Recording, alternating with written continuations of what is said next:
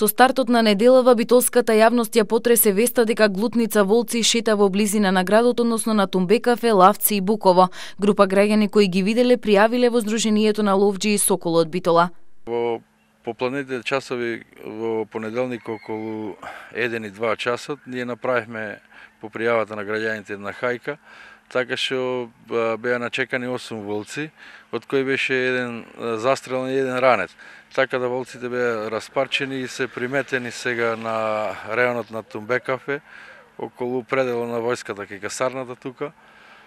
Интензивно овој овој месец му е време на парање на волците, така да доколку граѓаните прија, мислам приметат такво нешто, може да прија слободно во нашето здружение на ловци, кои имаме ние екипа која одмак излези мобилно на терено, така да и ќе организираме некои хајки за застрел на овие волци. Периодот на парење и потрагата на храна ги натерало овие диви животни да слизат и во населените места. Овие години, пред две години беше забранет волко за застрел, така да сега од 2010 е пуштен поново за, за застрел. Во тие години се намножени интензивно многу и затоа ги има и во подрачјата каде што во овие зимски денови навлегуваат и во населените места за потрага под храна. Тумбе кафе каде често битолчани пешачат се наоѓа и зоолошката градина од каде велат дека се информирани за движењето на чопор волци во близина на зоолошката. Што се однесува до зоолошката градина, ние немаме некоја посебна ограда или да сме заштитени 100%.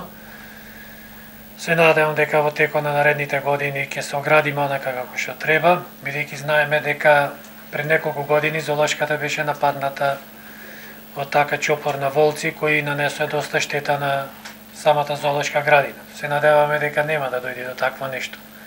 Затекнатите граѓани на овој дел од градот велат не ги виделе, но слушнале дека волци ја демнат битола.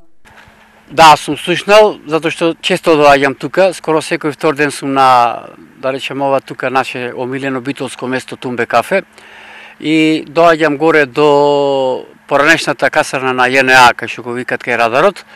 И а сега кога се кога денес отидов на пешачење и кога погледнав таму во околината на а, самата касарна, видов траги од волци. А и од други пријатели вака што се исто а, како мене рекреативци, ус разговор ми кажа дека вистина дека има волци и се присутни на овој дел од да речем планинава Тумбе кафе.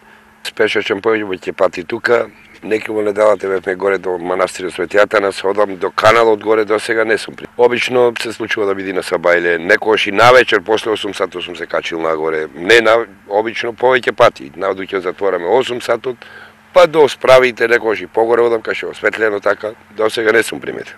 А, ако виделе не е безбедно, инаку до сега не сум се осетил небезбедно. Отивам и од други места и така имам комоција, не знам, не сум а, размислувал на тоа.